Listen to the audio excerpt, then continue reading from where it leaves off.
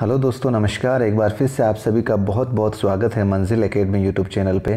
साथियों, मंजिल academy YouTube channel आपको जो आपकी मंजिल है, चाहे रीट एग्ज़ाम हो, चाहे सीटेट एग्ज़ाम हो, उसके अंदर जो बाल विकास का पाठ्यक्रम है, बिल्कुल बेसिक से, बिल्कुल शून्य से आपको पाठ्यक्रम करवा रही है।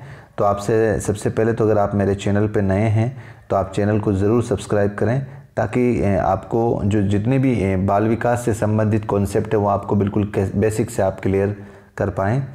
और साथियों हमारी जो पिछली क्लास हुई थी वो शैशव अवस्था की परिभाषा शैशव अवस्था के उपनाम और शैशव अवस्था की विशेषताओं के बारे में हमने अध्ययन कर लिया था। आज हमारी क्लास है शैशव अवस्था में शारीरिक विकास।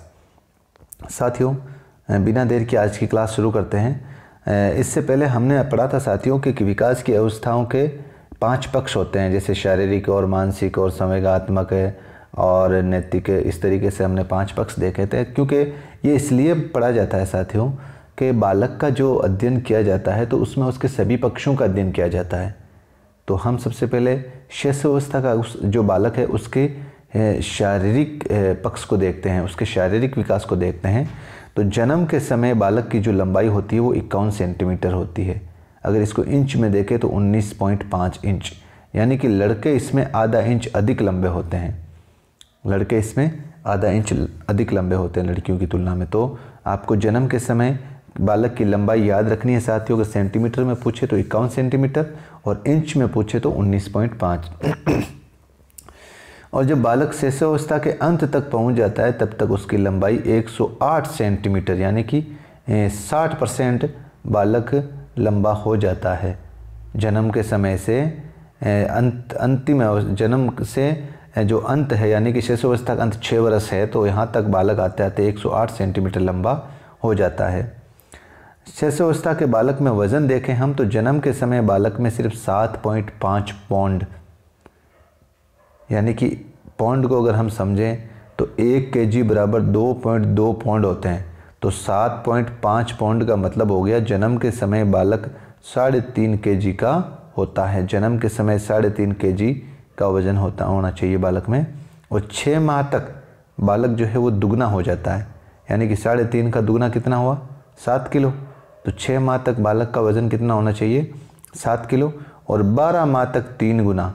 यानी कि साढ़े दस किलो तक बालक का वज़न जो है, वो बारह महीने तक होना चाहिए। और जब बालक शिशु अवस्था के अंत तक आ जाता है, यानी कि छः साल का बालक हो जाता है, तब तक उसके अंदर सोलह किलो तो कम से कम वेज, वेट होना ही चाहिए, वज़न होना ही चाहिए। शैशवावस्था के बालक के मस्तिष्क का भार देखें तो जन्म के समय सिर्फ़ उस बालक के मस्तिष्क का भार 300 ग्राम होता है और अंत तक पहुँचते पहुँचते, यानी कि छः साल का बालक हो जाता है, तब तक उसमें एक किलो और 250 ग्राम, एक किलो और 250 ग्राम तक उसके मस्तिष्क का भार हो जाता है। और मस्तिष्क की लंबाई देखें तो एक बट्टा चारवां भाग शरीर का भार बराबर एक बट्टा आठवां भाग शरीर का। यानी कि मस्तिष्क की लंबाई और भार दोनों देख रहे हैं हम। यहाँ इस, इसको इस तरीके से समझो कि जैसे एक का चौथा ही भाग जो है शरीर का शरीर का एक बट्टा चार भाग है ना, वो मस्तिष्क की लंबाई बढ़ जाती है इस अवस्था के अंदर। और मस्तिष्क का जो भार है ना, वो टोटल शरीर का एक बट्टा आठवां भाग है ना, मस्तिष्क का भार इस अवस्था में बढ़ जाता है। हड्डियाँ देखें साथियों भ्रूण अवस्था में हड्डियाँ 300 से अधिक होती है। और जन्म के समय 270 जन्म के समय कितनी होती है? 270 होती है। भ्रूण अवस्था में जब बालक रहता है, तब तक उसमें 300 से अधिक हड्डियाँ रहती हैं। दांत देखें साथियों अवस्था में छः माह में बालक का पहला अस्थायी दांत आता है। ये याद रखना साथियों, बालक का सबसे पहले अस्थायी दांत कब आता है? जब छः महीने का हो जाता है तो।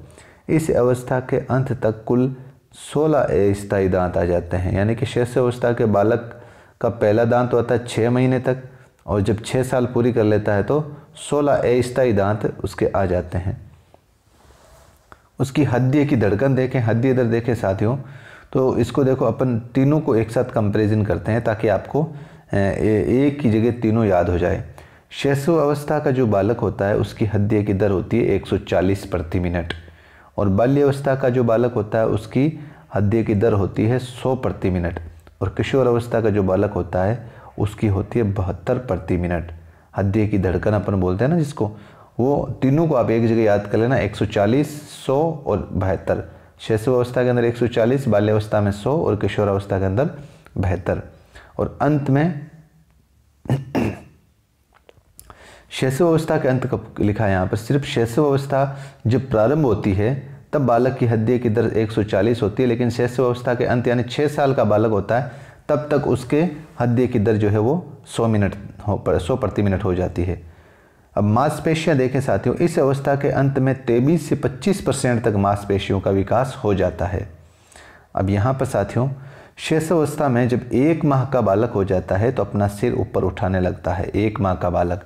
और जब चार माह का हो जाता है तो किसी के सहारे बैठने लगता है। हम देखते हैं कि जब चार माह का बालक हो जाता है तो उसको हम सहारा देने के लिए किसी तकिए का या किसी कंबल का, उसके पीठ के पीछे सहारा देते हैं ना तो वो कब देते हैं? जब बालक चार महीने का हो जाता है। और सात माह का जब बालक हो जाता है तो बिना सहारे बैठने लगता है। चौदह माह में शिशु खड़ा होने लग जाता है और पंद्रह माह में बालक पैरों से चलना सीख जाता है। इस तरीके से एक एक करके हमने इसको समझा, साथियों। अब देखते हैं, साथियों शैशव अवस्था में मानसिक विकास। शारीरिक विकास हमने देख लिया था, अब शैशव अवस्था का मानसिक विकास देखते हैं। इसलिए, साथियों, आपको वापस से बता दूँ कि किसी भी बालक के विकास को समझने के लिए उसके विकास के विभिन्न पहलुओं का अध्ययन करना ज़रूरी है। तो हमने उसका सामाजिक अध्ययन समझ लिया बाल विकास में शैशव अवस्था का अब हम शैशव अवस्था का जो बालक है, उसका मानसिक विकास देखते हैं।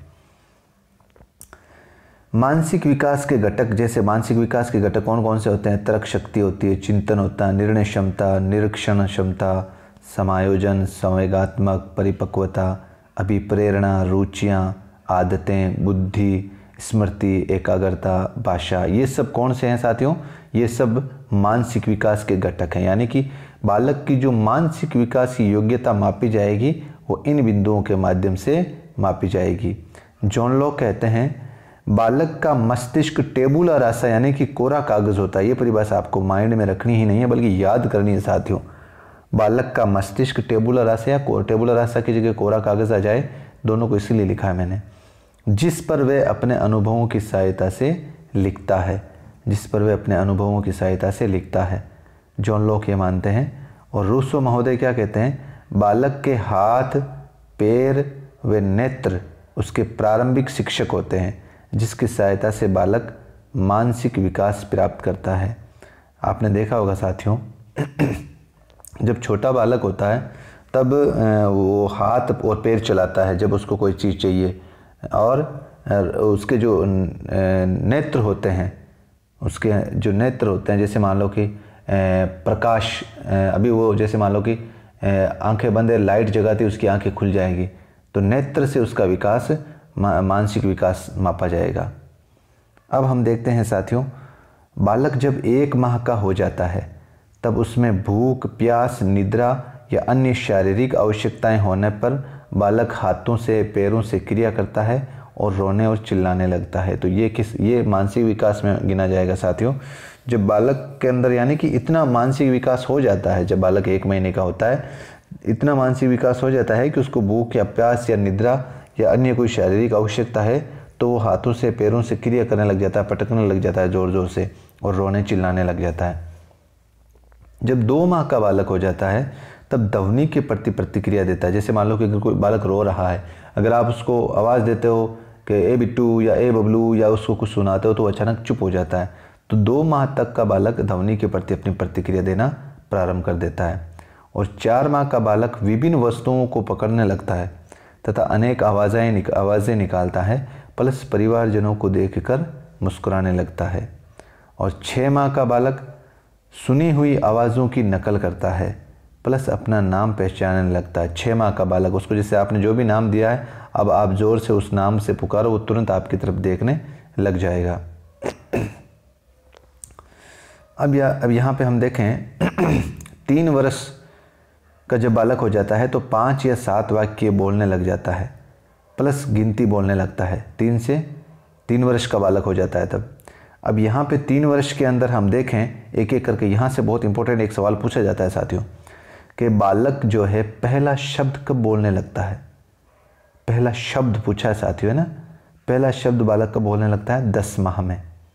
दस माह का जब बालक हो जाता है, तब अपना पहला शब्द बोलने लगता है, पूरा एकदम साफ़ सुथरे शब्दों में। और चौदह माह का बालक होता है, तब प्रथम सार्थक शब्द बोलता है, यानी कि उसका अर्थ। अर्थ जिस शब्द का निकलता है, वो सार्थक शब्द कहलाता है। तो प्रथम सार्थक शब्द, यहाँ पे दोनों बात को आप समझें। और 20 माह तक का बालक जो है वो एक पूरा वाक्य बोलने लगता है। अब जैसे मान लो कि ये बालक यहाँ इस अवस्था के अंदर बोलता है, पा। इसका अब सार्थक अर्थ नहीं निकाल सकते हम इसका। लेकिन जब चौदह माह का बालक होता है, तब जैसे वो बोलने लग जाता है पापा तो इसका हम सार्थक अर्थ लगा सकते हैं। और बीस माह का बालक होता है, जैसे उसको बोलते हैं जैसे मान लो कि पूरा वाक्य बोलने लग जाता, मेरे पापा आ गए। इस तरीके से साथियों, जब चार वर्ष का बालक हो जाता है तो किसी वस्तु को जानने की जिज्ञासा प्रबल होती है। जैसा कि हमने अभी पिछली विशेषताओं के अंदर देखा इसको, चित्र बनाने लगता है, प्लस कई बार रेखाएँ बनाता है। चित्र बनाने लगता है, आपने देखा होगा, जैसे उससे वो रेखा जो है वो एकदम सीधी नहीं खींची जाएगी। इस तरीके से, जैसे अब उसको गोल कोई चित्र बनाना है इस तरीके से तो वो इस तरीके से, इस तरीके से मतलब सीधी रेखा भी उससे नहीं खींची जाएगी, लेकिन वो प्रयास करने लग जाता है इस अवस्था के अंदर। कई प्रकार के बार बार प्रश्न पूछता है, कई प्रकार के, और वस्तुओं को क्रम से रखता है, हल्की व भारी वस्तुओं में अंतर करना सीख जाता है इस अवस्था का बालक, चार वर्ष के अंदर आते आते तो यानी कि चार वर्ष के अंदर चार वर्ष का जब बालक हो जाता है तो उसके मानसिक विकास इतना डेवलप हो जाता है कि वो वस्तुओं को क्रम से रखना भी सीख जाता है। और जैसे मान लो कि हम अगर देखें, एक प्लेट है, प्लेट के अंदर प्याली है, प्याली के अंदर चम्मच है। अब वो ऐसा नहीं करेगा कि नीचे चम्मच रखेगा, फिर उसके ऊपर प्लेट रखे प्याली रखेगा, फिर उसके ऊपर प्लेट रखेगा। इस तरीके से नहीं होगा। जब पाँच से छः वर्ष का बालक हो जाता है, तब पंद्रह से बीस तक गिनती सीख जाता है और व्याकरण की दृष्टि से शुद्ध वाक्य बोलने लग जाता है और यहाँ तक आते आते उसके पास जो शब्दों का भंडार है, वो कितना हो जाएगा? साठ से एक सौ बीस शब्दों के मध्य उसके पास शब्दों का भंडार हो जाएगा। तो साथियों, इस तरीके से हमने एक एक करके देखा। जो आज की क्लास थी साथियों संवेगा अपने शैशव अवस्था के अंदर जो मानसिक विकास है और जो शारीरिक विकास है इसको हमने, इसकी जो थ्योरी थी, बिल्कुल आसान भाषा में मैंने समझाने का प्रयास किया है। आप इसको नोट डाउन ज़रूर करें और एक, दो बार लिखने के बाद में सिर्फ़ ओनली फॉर एक बार आप इस वीडियो को देख लें, आपको ये सारे याद हो जाएँगे, अच्छे से याद हो जाएँगे साथियों।